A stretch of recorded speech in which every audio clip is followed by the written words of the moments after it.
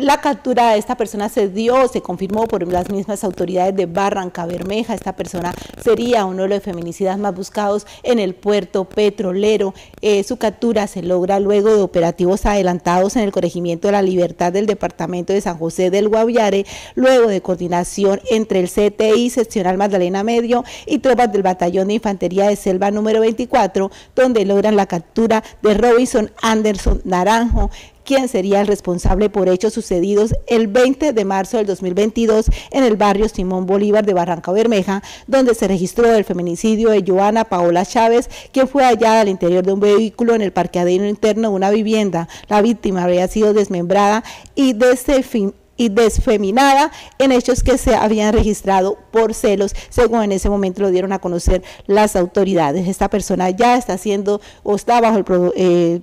está bajo las autoridades quienes adelantarán la judicialización de su captura. Lo que se ha podido manifestar hasta el momento por parte de las autoridades de Barranca Bermeja es que este hombre, eh, su audiencia será de manera virtual, pero donde estarán pendientes tanto jueces y fiscales del puerto petrolero. Entonces ya esta persona se encuentra bajo el poder de las autoridades, que sería el responsable de una de las muertes que más ha estremecido al puerto petrolero, donde esta mujer fue hallada desmembrada al interior de un automóvil en su vivienda y que sus familiares habrían estado pidiendo durante mucho tiempo la captura y justicia ante este feminicidio perpetrado en el puerto petrolero. Estaremos atentos a esta audiencia que se adelantará muy pronto contra esta persona por feminicidio ocurridos en Barranca Bermeja contra Joana Paola Chávez, asesinada el pasado 20 de marzo del 2022 en el barrio Simón Bolívar. Este es un informe de Carolina Cantillo para Noticias Telepetróleo.